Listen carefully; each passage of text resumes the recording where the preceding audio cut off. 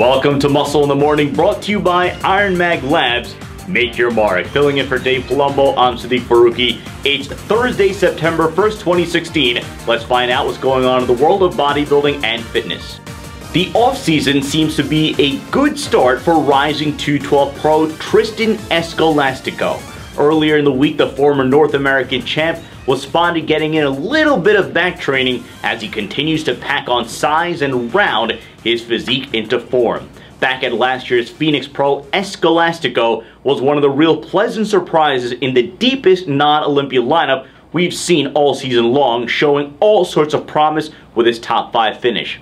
On paper, Escolastico certainly looks the part of someone who could start winning pro shows a whole lot sooner than later.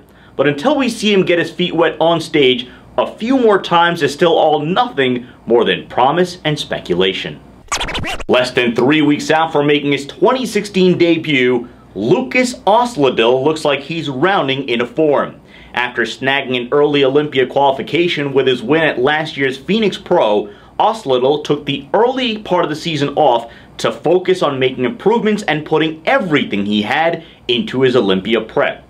At the moment, Osladil's conditioning looks to be spot on, which is par for the course for the Czech Republic native, who never seems to show up out of shape. Osladil has a small waist and some pretty nutty proportions, but even at 100%, it's going to be a struggle for him to get a sniff at the top 10, but if he stays the course and just focuses on playing his game, I still think he has the tools to give a few people a run for their money. In case you were having any doubts about whether or not Dexter Jackson was going to be ready for the Olympia, why don't you go ahead, sit back, and have a long look at your screen. This week, some new video popped up from Dexter's most recent guest posing appearance where we see the Blade in classic form looking as sharp as we've ever seen him.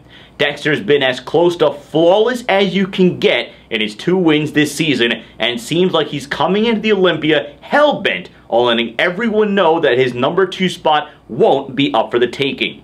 A focused and determined Dexter Jackson is one hell of a force to be reckoned with. And I can say for certain that whoever is unlucky enough to get in his way is probably going to leave the arena with some bumps and bruises attached to their ego. Less than two weeks out from hitting the stage for the first time this season, things are starting to heat up for the one and only Alina Popa. Earlier this week, Popa was spotted training in her home base out of Dylan Armbrust Mile High Mecca as she enters into the home stretch of her prep for the upcoming IFBB Wings and Strength Rising Phoenix World Championships. At her best, Popa's combination of size, shape, and veteran stage presence make her as dangerous as anyone in the business.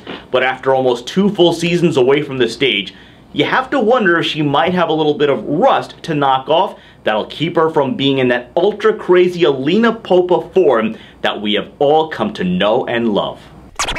The race for the 212 Olympia crown is starting to heat up and it looks like New York's very own Marco Rivera is throwing his name into the swirling pot of competitors all looking to stake their claim.